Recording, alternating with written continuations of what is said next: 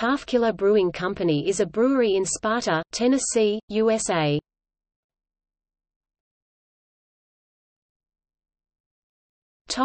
History Calfkiller Brewing Company was founded by brothers Dave and Don Sergio. The brothers began brewery construction in June 2007, and produced their first commercial beer in July 2010. The name Calfkiller is taken from the Calfkiller River, which runs through Sparta, Tennessee.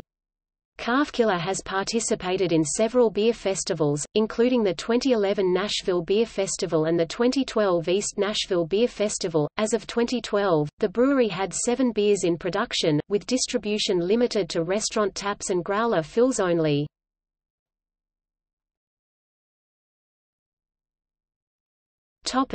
See also Beer in the United States